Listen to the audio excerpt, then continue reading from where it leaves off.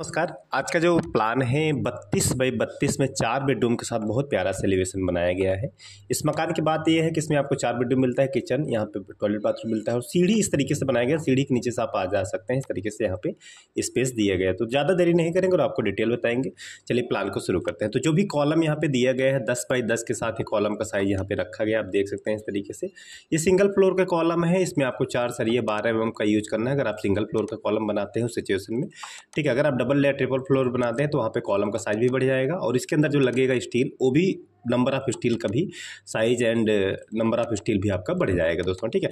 तो वो आप हमारी पेड सर्विस लेंगे तो आपको सारी चीज़ें समझाएँगे। फ़िलहाल के लिए आप प्लान को देख लीजिए, इस तरीके से आपका पूरा ये प्लान आपको मिल जाएगा, इस तरीके से आप देख सकते हैं दोस्तों। आप देख सकते हैं कितने नंबर ऑफ़ कॉलम हो गए, चार चार, आठ, चार, बारह, चार, सोलह नंबर ऑफ़ कॉलम्स इसमें आपके टोटल इस तरीके से हो जाएँगे दोस्तों। चलिए, बाहर की जो दीवार है उसको मैं दस इंची का रखा हूँ फॉर सेफ्टी रीजन ताकि कोई तोड़ करके घुसे ना।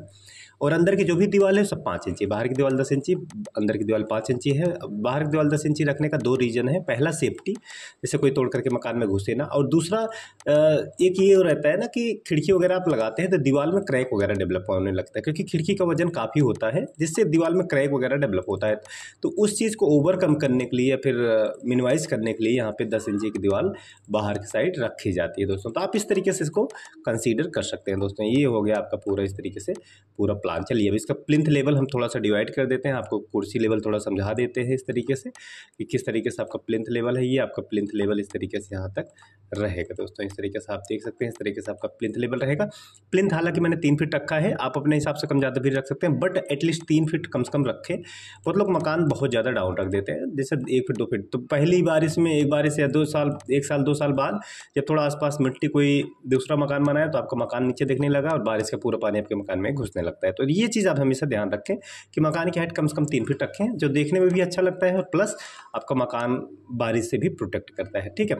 तो आप देख सकते हैं इस तरीके से आपका पूरा प्लान होगा यहाँ से आपकी एंट्री हो जाएगी, सीढ़ी के नीचे। सभी मैं आपको आगे इसको बता दूँगा, ठीक है? तो यहीं जैसा आप सीढ़ी आप देख लीजिए, इस तरीके से आपकी सीढ़ी बनाई गई है, ये इस तरीके से डॉग लगने में, और सीढ़ी के नीचे से आपकी एंट्री हो जाएगी तो यहीं एक गेस्ट रूम दिया गया, इसका दरवाज़ा आपका यहाँ पे रहेगा, ताकि कोई गेस्ट वगैरह आता है तो आप उनको बाहर के बाहर ही बैठा सकें, दोस्तों, इस तरीके से इसको प्लान को बनाए हैं। मैंने कम से कम एरिया में इस प्लान को बनाया है, दोस्तों, ताकि कम से कम एरिया लगे, रहे, बहुत लोगों का बजट कम रहता है, और ज़्यादा से ज़्यादा रूम चाहिए होता है, मजबूरी रहती है तो वो उन लोगों के लिए पूरा प्लान बनाया गया तो आप देख सकते हैं इस तरीके से पहला रूम रहेगा, ये आपका हो जाएगा दूसरा रूम दूसरा रूम भी आप इस तरीके से देख सकते हैं, इसका दरवाज़ा आपका यहाँ पे इस तरीके से लग जाएगा। आगे बढ़ते हैं तो आगन एरिया आपको मिल जाएगा। ये आपका रहा किचन।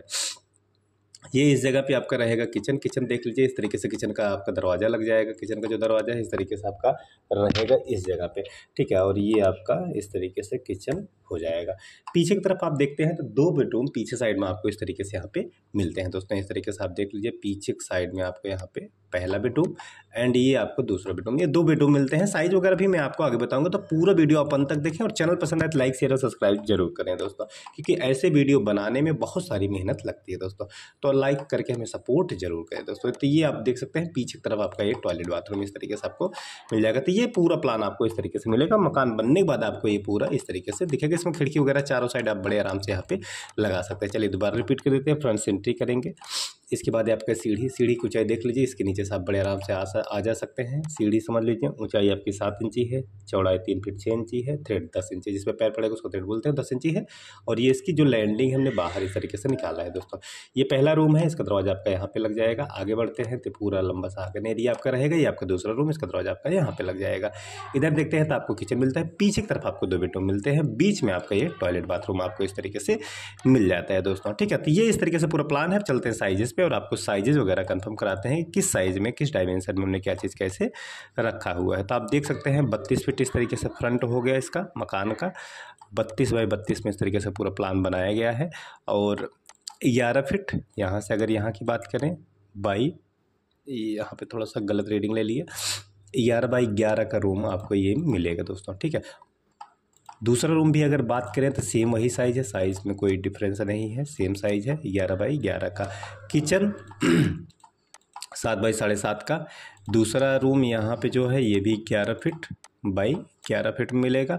बीच में आपका ये टॉयलेट बाथरूम आपका छः फीट इंटू साढ़े छः फीट का और ये आपका हो गया बारह फीट। ये वाला रूम आपका बारह फीट है। हालाँकि इसको भी आप ग्यारह ही रख सकते हैं, कोई इसमें दिक्कत नहीं है। और ये साढ़े सात फीट में आपका ये बीच में आँगन एरिया जो है बाईस फीट दस इंची और सीढ़ी के लिए जो स्पेस दिया गया ये भी साढ़े सात फीट में आपका रहेगा। और यहाँ पे एक सीढ़ी का साइज़ साढ़े तीन फीट है, दूसरे का साढ़े तीन है, बीच में छः इंची आपका रेलिंग वगैरह लगाने के लिए। तो ये इस तरीके से पूरा आपको ये प्लान मिलेगा। इस तरीके से आप इस प्लान को देख सकते हैं। इसका स्क्रीनशॉट लेना है तो आप स्क्रीनशॉट ले सकते हैं। तो छोटा सा वीडियो छोटा सा प्लान आपको कैसा लगा? कमेंट करके ज़रूर बताइएगा। तो मिलते हैं दूसरे वीडियो के हम तब तक दे लेता हूँ। धन्यवाद दोस्तों।